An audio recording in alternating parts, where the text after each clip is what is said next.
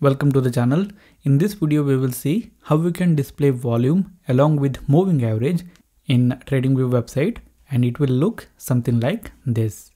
So here in order to explain this from the beginning what I will do is I will remove this volume indicator that I have applied and the first thing that we have to do is we have to click on the indicators and we need to search for volume and here we will find this volume indicator we need to click on that.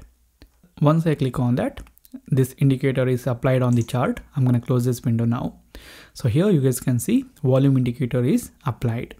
Now in order to apply moving average on this volume indicator we have to go to the section where all the applied indicators are displayed.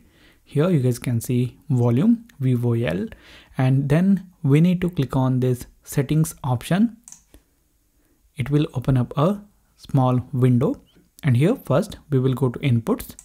And uh, here we will enter the moving average length. 20 is selected by default. I will enter 50 you guys can enter whatever the value you prefer.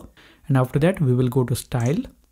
And here we will check the checkbox which says volume moving average.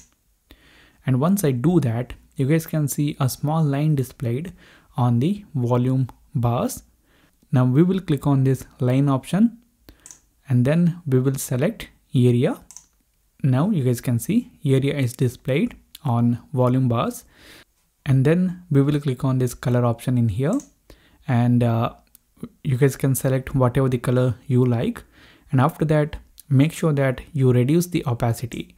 So here i'm gonna select somewhere in between uh, 30 to 35 percent you know whatever the percentage of opacity you like select that. After that click outside. Now you guys can see volume bars are displayed along with the moving average and it looks like this. Now if you want you guys can change the settings. For example if you want you guys can increase the opacity or change the colors. After making the modifications click on ok and that's it. Now we have uh, volume bars displayed along with moving average and it looks like this in TradingView website.